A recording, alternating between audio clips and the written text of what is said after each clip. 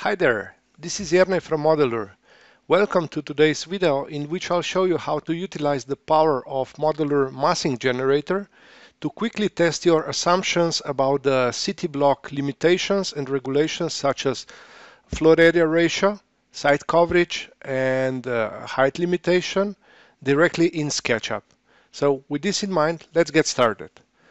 First, I'll geolocate my model in SketchUp. I'll get to go to uh, geolocation, add location, and select my city. In this case, it is Nova Gorica. Uh, I'll go here to select the region, digital globe. The location here is fine, already set up, and hit import. Now, once my uh, geolocation is set, I will also go and import some of the GIS data. This data can be either shapefile or GeoJSON. In my case, I will first go here to import the city blocks. And as you can see here, we have already set some of the uh, attributes from the city block that uh, that will be mapped to Modelur parameters. So in this case, it is the land use, permitted floor area ratio, permitted site coverage, and permitted height. I have also mapped the uses and once this mapping is done I can also go and export the mapping so that I can reuse, it at some later point. So once it's done I'll just hit import GIS layer and I have my uh, city blocks in the model. Now as you can see there is this ugly clipping which I'll fix by just going and uh, unlock the the, this satellite image. I will just move it 0.1 meter beneath the city blocks and go back to lock it. Now the model looks good. I have my city blocks in the model, but I'm still lacking some of the context. So I'll also go here to import the buildings. Again, the mapping is already done because it was stored previously.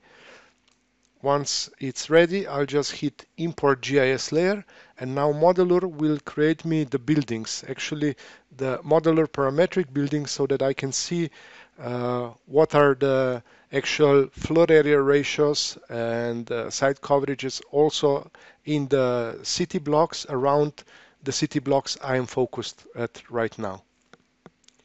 Now, once the buildings are imported, I also want to add some uh, trees to, to the model so that it will look better. In this case, I have also the GeoJSON for, for this data imported. And this one is really quick because they are basically a components that, that come together with Modelur. Um, now I have my site loaded. I have loaded the, the actual buildings, the parametric buildings, and I have this empty space here, which is something or the location which I want to focus on right now. So the first thing that I'll do is I will just close the GIS data import window. I'll hit the city block tab and now I want to first test what is already here, what are the rules that are already set for this city block. I'll just select the city block here hit the generate button and Modelur will produce me some random development. Now, as you can see, maybe this is not the best solution. I can just go here um, and hit the delete button because these buildings are not locked. They are just created and selected and they will be erased. And I can, again, just click on the generate.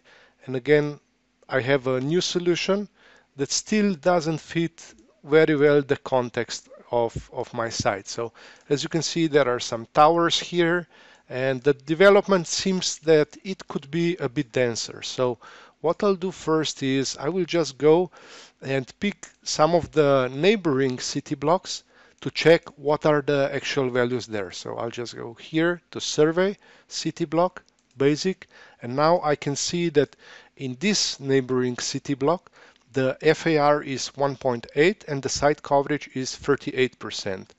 In this one here, let's check it here, the site coverage is also 38% and floor area 2.0. And let's check also this one.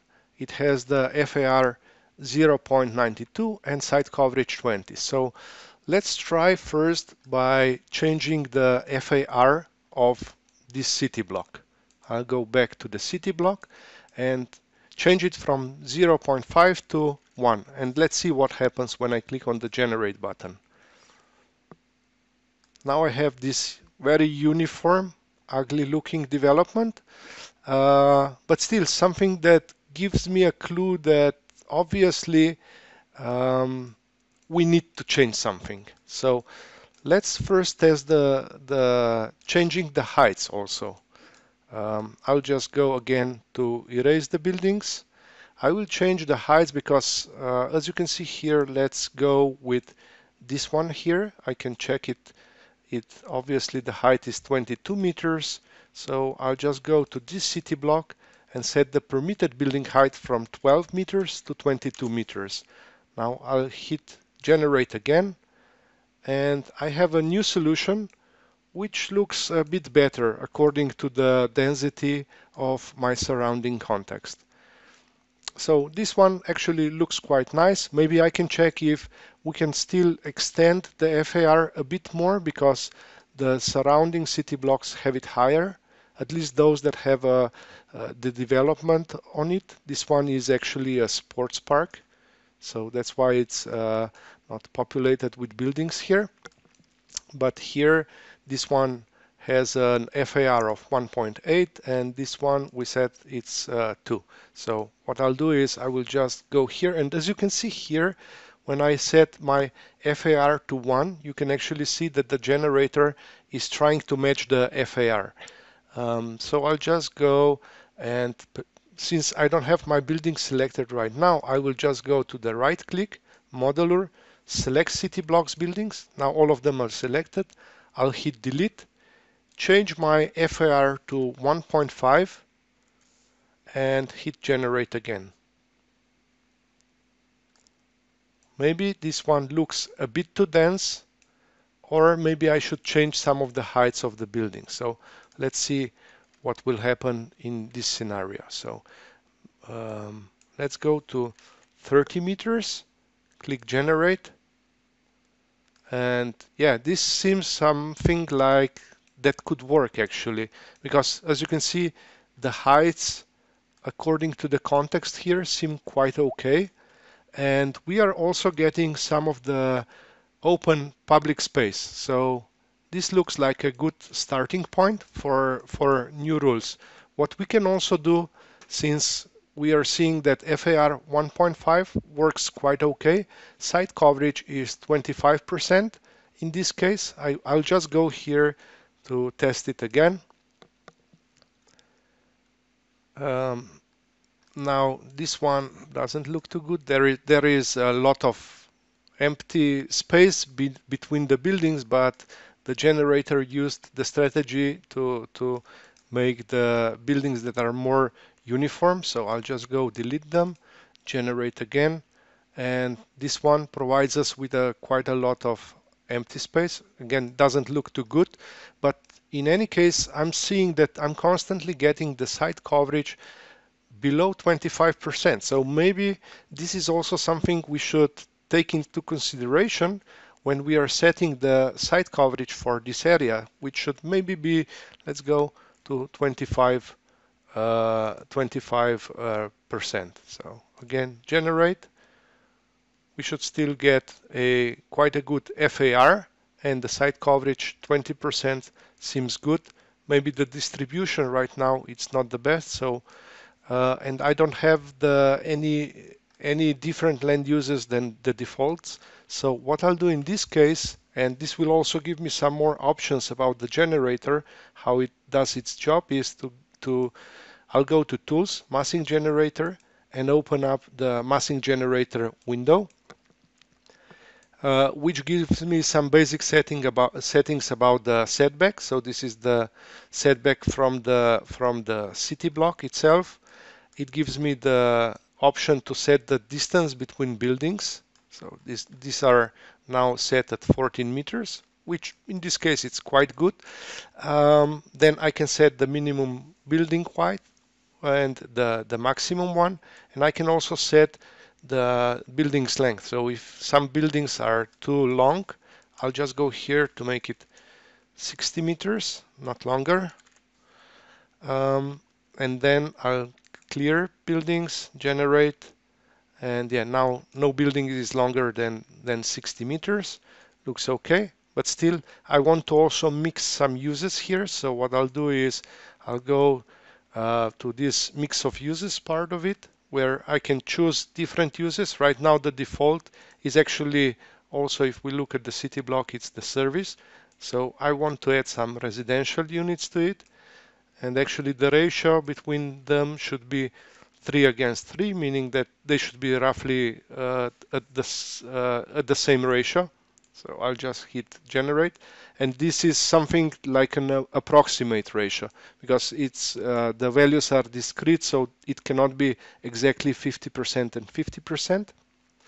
But still, it gives us some ability to mix uses right away when uh, generating the buildings. So let's say maybe again I'll just go with clear buildings and I will also add some shop for example of course, you are uh, uh, you can once the buildings are generated, you are free to start changing them. So let's say in this case, what I want to do is actually I want to have some road between uh, these two uh, or street between these two. So what I'll do is I will just create something really quickly, something to give me an impression of a road.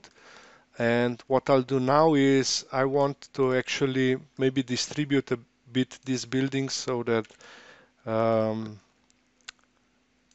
I, I make some space for this road and make some modifications to the to the city block itself. So I can go here and change it and still and again whenever I do any change to my model as you can see here the values are being updated. So right now the FAR is still 1.5. If I go here and change this building to something that will then exceed the FAR, you can see that it became red. So I need to, if I do this kind of change, I, I'll need to go here and maybe make the building a bit smaller so that I'm still within the prescribed FAR, but now I'm focused already more on the design part of what we are doing or what we are uh, defining here. So this is then the next step where the urban designer should take over the, the city block and actually start focusing on creating uh, high quality uh, living environment. So in this case, maybe I want to let's say I want to align these buildings that are here to, to this new street.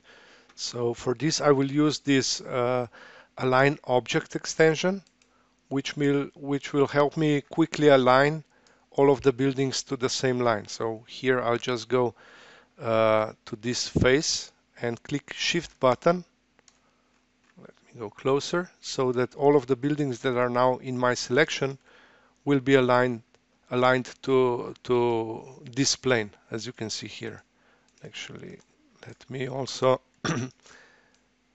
group this one and raise it just about a, bit above the city block so that it will it will look nicer and then I need to move this building a bit and yeah we can we can then easily play around with uh, changing those buildings and making sure that also the quality is there. Not just the regulations are proper, but also uh, we need to think about what is it that will actually work for this space. But at least as a good starting point, we have tested the assumptions about what should be the FAR of this city block and we see how the rules of the city block translate to the actual 3D environment and then we can take it from there.